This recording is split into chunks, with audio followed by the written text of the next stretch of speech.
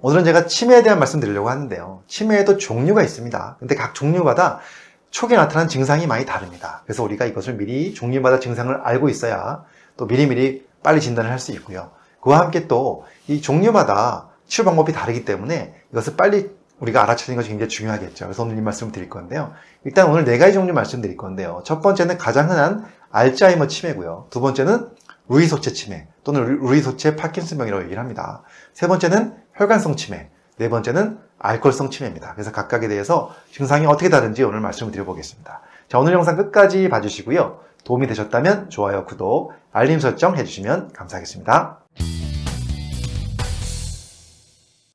고마우신 구독자 여러분들 오늘도 클릭해 주셔서 정말 감사합니다. 가장 흔한 치매, 알츠하이머 치매는 뇌에 아밀로이드, 뭐 타우라는 물질이 축적이 되는 것이죠. 자, 이때 나타나는 가장 큰 특징적인 증상이 바로 우리가 다 알고 있는 가장 치매하면 떠오르는 증상입니다. 바로 기억력 저하입니다.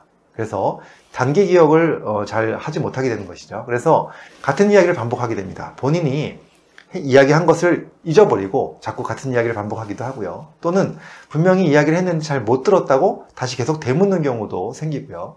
또는 아주 가까운 과거, 뭐, 뭐몇주 전, 또는 뭐 한두 달 전의 일도 함께 경험을 했는데 그것을 전혀 기억하지 못하는 경우도 있습니다. 이러한 기억력 저하가 바로 알츠하이머 때 나타나는 기억력 저하 증상으로 보시면 됩니다. 그 다음 두 번째는 루이소체 치매인데요. 뇌에 이것도 마찬가지로 잘못된 단백질이 축적되는 경우입니다. 바로 알파 시누클레인이라고 하는 그 단백질이 축적되는 것이죠. 자, 이때 나타나는 증상은 기억력 저하고는 조금 다르게요. 바로 인지 기능의 변동이 생깁니다. 그래서 집중력이 확 떨어지고 그 다음에 방향 감각을 잃어버리기 때문에 집을 잘 못 찾게 되는 경우도 생기고요.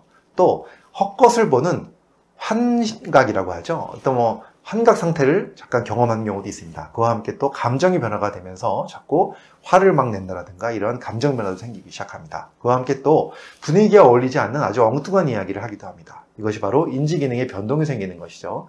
이런 증상이 바로 루이소체 치매의 증상이고요. 그 다음에 또 파킨슨 증상이 함께 나타나는 경우가 많습니다. 그래서 굉장히 걸음걸이가 느려지고 동작이 아주 느려지면서 구부정한 상태로 걸음을 걷게 되는 것이죠. 사실 이것이 우리 노화 때문에 생기는 증상이라고 볼 수도 있는데요. 우리가 그냥 나이가 드시면서 자꾸 허리가 구부러지고 걸음걸이가 느려지는 것이 단순히 그냥 나이가 들어서 그런 것일 수도 있다라고 우리 간과하기 쉬운데 사실 이런 증상이 있다면 혹시 이것이 파킨슨의 증상이 아닌가 한번 꼭 병원에 가서 확인해 보는 것도 굉장히 도움이 되고요. 그 다음에 또 이런 증상이 있습니다. 이 치매로 진단되기 전에 아주 수년 전 또는 십수년 전부터 바로 심한 잠꼬대를 한다라든가 또는 후각 기능이 떨어진 증상이 있습니다. 아주 특징적인 증상이죠. 이런 증상이 있다면 우리가 반드시 신경과 선생님 찾아가셔가지고 반드시 미리미리 검사를 해보시는 것이 큰 도움이 됩니다. 그리고 지금까지 말씀드린 두 가지 치매 있잖아요. 알츠하이머 치매와 이 루이소체 치매가 혼합해서 나타나는 경우가 있습니다. 바로 혼합형 치매라고 말을 하는데요. 연구 결과에 따르면 알츠하이머 치매 환자분들 중에서 약 40% 정도가 루이소체 치매를 함께 가지고 있다는 것이죠. 그래서 증상이 섞이면서 매우 진단이 어려운 경우가 있습니다. 그래서 반드시 신경과 전문의를 찾아가셔서 정확한 진단을 받아보시는 것이 매우 중요합니다. 그 다음 세 번째는 바로 혈관성 치매인데요. 이것은 뇌 혈관에 문제가 생기면서 나타나는 것이죠. 그래서 뇌경색이라든가 또 뇌출혈과 관련돼서 생기는 이러한 치매 증상이 나타나는 것입니다. 이 증상은 굉장히 급격하게 나타납니다. 이 뇌경색이나 이러한 뇌출혈 같은 것들이 갑자기 나타나는 것이기 때문에 이 증상이 평소에 전조 증상이 없다가 갑자기 말이 어눌해지고 또는 행동의 변화가 생기고 이렇게 나타난다면 이것은 혹시 뇌의 어떤 뇌경색에 의한 그런 치매 증상이 아닌가 꼭 확인을 하셔야 된다 이 말씀을 드립니다. 그와 함께 혈관성 치매는 앞에서 얘기했던 알츠하이머 치매와 루이소체 치매와 치료 방법도 완전히 다르다는 것이죠. 그래서 혈관에 대한 문제를 치료하는 것이 이 혈관성 치매의 치료 방법이 되겠습니다. 그 다음 네 번째는 바로 알코올성 치매 말씀드리려고 하는데요. 알코올성 치매는 60대에 생기는 치매라고 알려져 있죠. 좀 비교적 젊은 나이에 생기는 치매입니다. 젊을 때부터 술을 많이 드셨던 분들한테 많이 생기는 치매라고 알려져 있습니다. 결국은 원인은 바로 알코올입니다. 그래서 술을 많이 먹었던 분들이 60대가 되 면서 증상을 나타나는데요.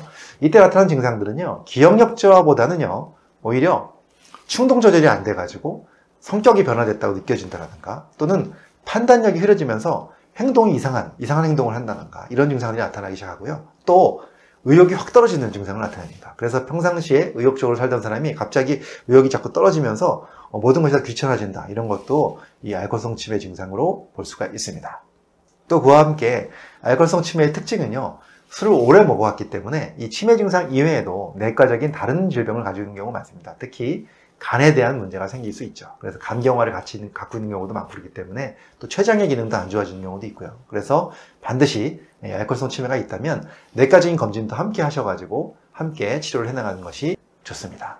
자, 오늘은 제가 치매 종류에 따라서 증상이 다르다고 말씀드렸습니다. 이것이 왜 중요하냐면 치매 종류가 구분이 돼야 치료도 달라지기 때문에 그렇습니다. 그래서 치매가 다 똑같은 것이 아니고 증상도 다르기 때문에 오늘 말씀드린 내용 잘 알고 계시면 앞으로 치매 데큰 도움이 되시고요. 또 빨리 진단하고 치료하는 데도 큰 도움이 되실 것 같습니다. 자, 우리 구독자 여러분들도 건강한 뇌로 건강한 생활 되셨으면 좋겠습니다. 감사합니다.